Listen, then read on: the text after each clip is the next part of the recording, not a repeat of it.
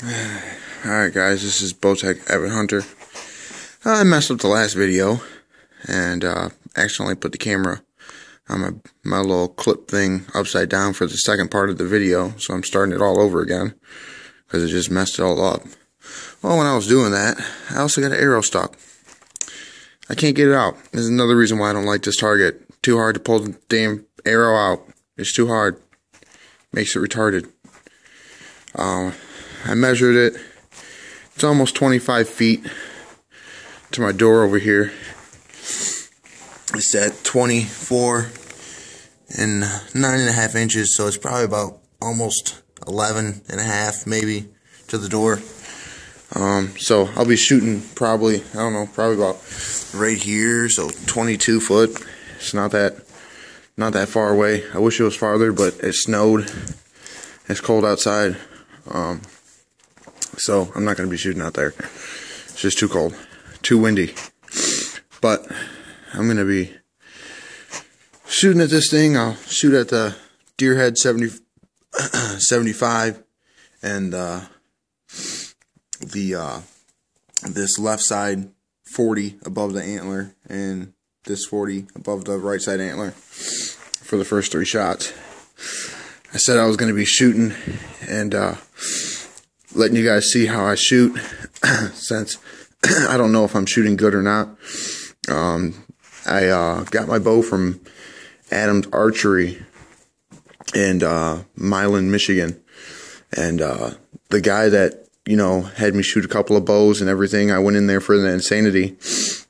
And uh, I uh, shot the um, Hoyt Spider Mathews uh, Creed and the Bowtech Insanity, and I walked in there planning to get the Insanity, and uh, I just I, I didn't like it. I didn't like how it felt. Um, I didn't like the Mathews the the most. It was the one that I, I least liked, and uh, man, I think I might have bent this arrow. I hope I didn't. When I do actually get it out of there, I'll have to see if it's straight. Well, so the one I liked the least was the Mathews, and the second least was Insanity. And I shot the Hoyt Spider, and I liked that one. Um, and then I was like, okay, well, you said uh, that you had uh, the Bowtech experience, so I thought oh, that'd be pretty cool. You know, I get to shoot that one too. So I I picked the Hoyt Spider, but I thought it was too light, and uh, not to mention it kept slapping my arm every every I don't know every other shot, it was slapping my arm.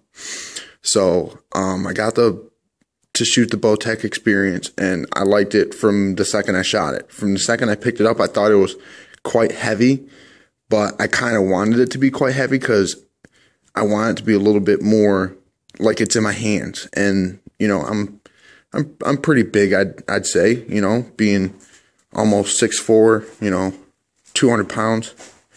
Um, I didn't want a light bow, so anyways, I got the the Bowtech experience, and I've I've loved it since you know since I got it. I've been shooting as much as I can, trying to get better, and uh, I just I, it's never slapped my arm or anything. It's it's been perfect to me so far. Um, well, I'm gonna start shooting, and uh, you guys let me know if I'm doing something wrong. Got a couple of tips from the guy at uh, Adams Archery to shoot better. So I'll be doing that, trying to get better at consistency. So here we go.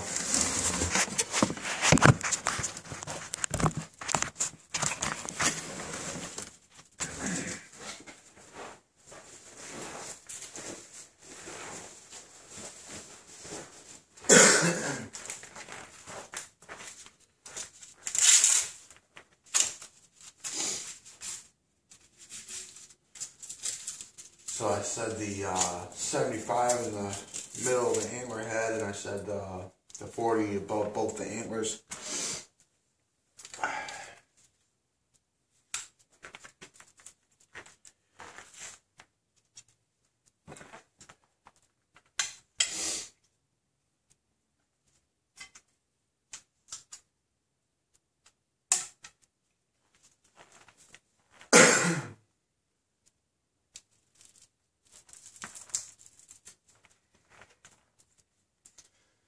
I usually, you know, set up my, my hand first on the grip and put my index finger on the front of the grip.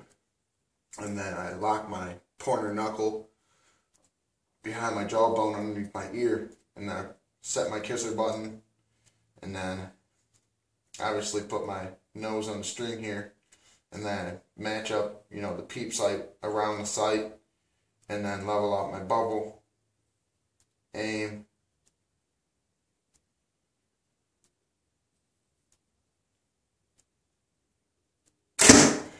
and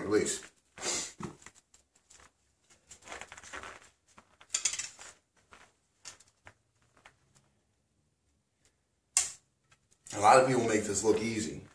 Um, I don't know if I am or not, but um, it seems pretty easy to me until I'm actually sighting on the the actual target that I'm trying to hit.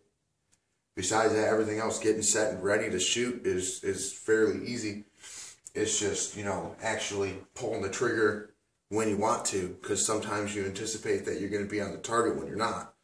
And uh, another thing that I'm having a problem with is follow through. Like, you know, when you release to follow through with it, sometimes I, I mess up. It's probably one out of five times that I mess up on my follow through. So set my hand on my grip, set my hand on my anchor point, set my kisser, line up my peep with my sight, level my bow,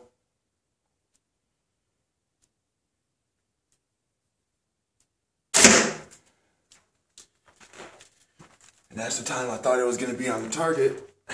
And when I released, it wasn't. So it's a little bit high left.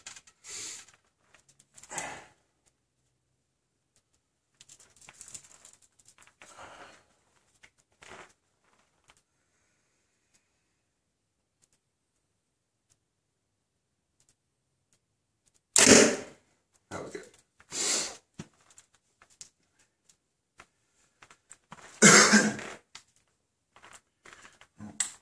Set that down wrong. I don't like laying it down like that. Alright. Let's go with these shots. And take this release off. Whew. Cold. Actually, you know what? I'm going to put my coat on first.